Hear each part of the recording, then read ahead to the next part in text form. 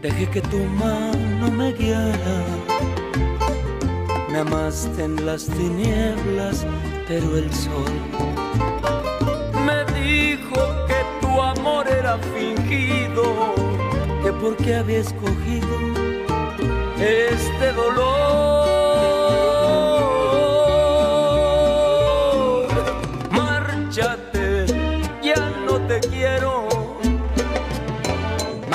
Márchate, es lo mejor. Márchate, ya no te quiero. Márchate, yo busco amor. Sin maquillaje, sin falso traje. Un amor que me alivie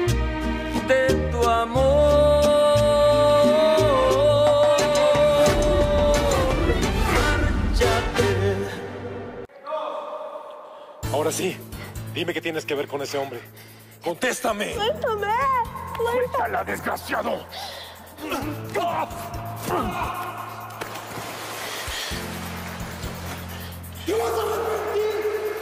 ¡No te vuelvas a meter con ella, infeliz!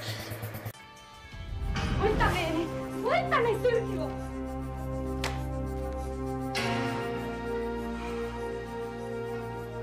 Si me gustas más.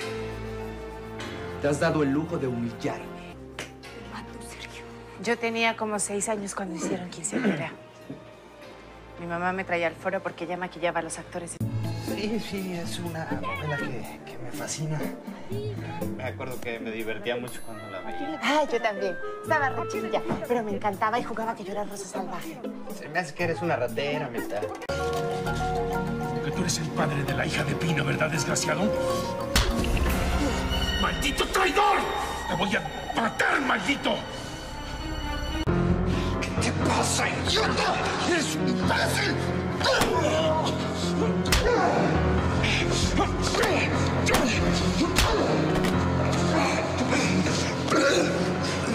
Usted con Pino cuando era mi mujer infeliz. ¿Me estás reclamando? No, no, no. No. Yo creo que una mujer como tú, que es capaz de decirle a un hombre que lo ama, y va y se acuesta con otro, no vale la pena. No vuelvas a venir a mi casa y menos a insultarme. Aquí el único que no vale la pena eres tú. ¿Te delataste? ¡Te echaste de cabeza! No, eso no es cierto. ¡Claro que no, infeliz! No es cierto, ¡No lo- pasa.